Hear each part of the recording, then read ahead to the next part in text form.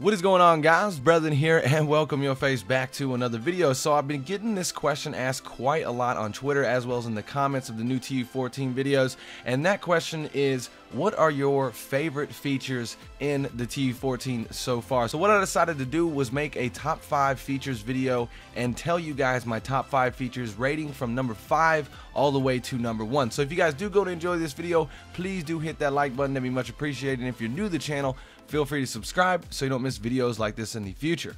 Alright guys, so starting this thing out at number 5, I'd have to say new food types. As you guys know, it's been since about TU7, maybe TU9, that we actually got new food types. Now we have the carrot, we also have the potato, the poisonous potato, the golden carrot, the new golden apple. We also have pumpkin pie, so it's really good to see that we got some new food types because let's face it, just eating watermelon as well as bread and all that stuff for the past however many updates, almost going on two years now, has just been pretty boring, so it's good to see that they added that.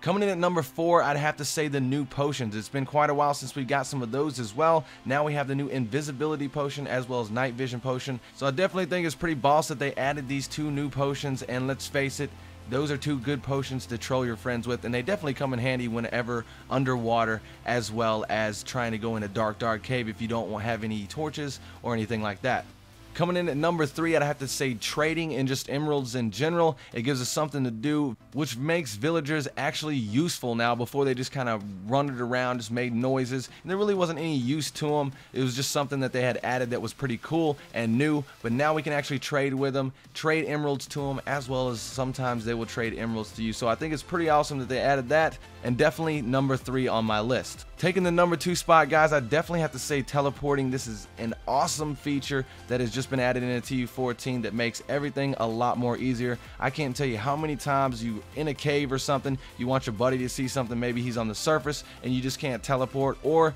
you're down in the cave, you're in a tight situation, maybe you're almost about to fall in lava or something, and your buddy's up on the surface, and this way you can actually teleport up to him and vice versa. So definitely a cool feature, and I'm really glad to see that. I wish it would have come in an earlier update, but at least we have it now.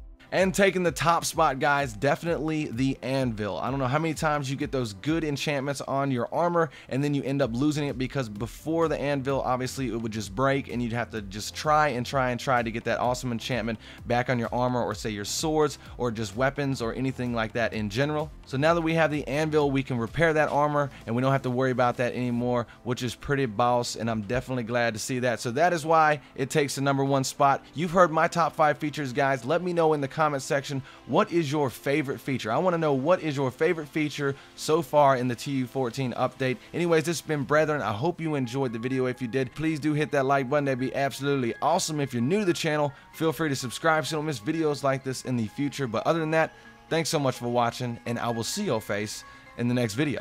Peace out, guys.